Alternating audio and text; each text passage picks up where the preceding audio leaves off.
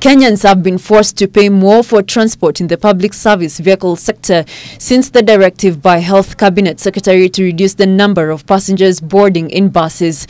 Health CS Mutahi Kagwe directed 14-seater matatus to carry a maximum of 8 passengers while 25-seaters to carry 15 with most matatus within the CBD complying with the directive.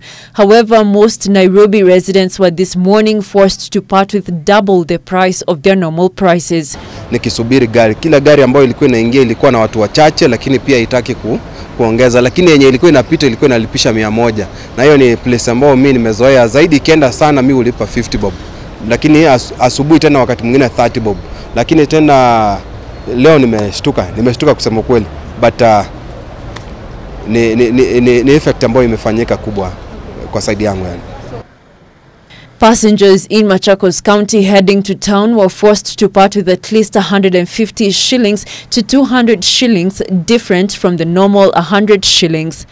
Along Thika Road, the government's directive was exercised. However, passengers had to part with at least 100 shillings to 150 shillings, where the cost is normally 50 shillings.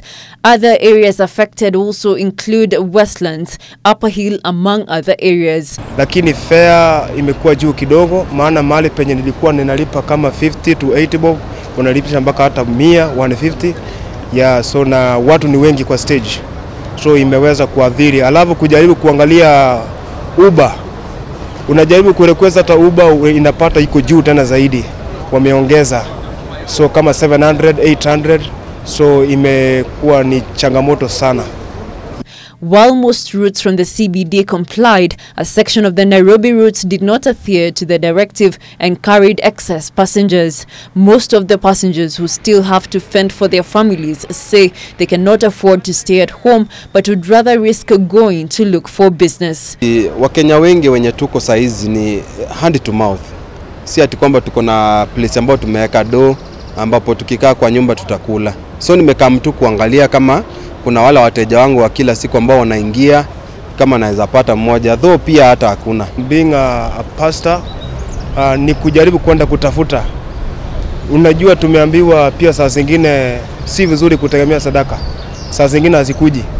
Kama saa hizi tumekuwa affected kama wachungaji, makanisa imefungwa, so sadaka tutatoa wapi? So kuna ile kazi kidogo kidogo tunafanya However, Health CS Mutahi Kagwe says the move by public service vehicles to hike fares is immoral. Last week, the government directed 14-seater matatus to carry a maximum of 8 passengers, 25-seaters to carry 15, buses whose seating capacity is 30 and above to have 60% seating capacity. Dana Rachel Mbogwa, Ibru TV.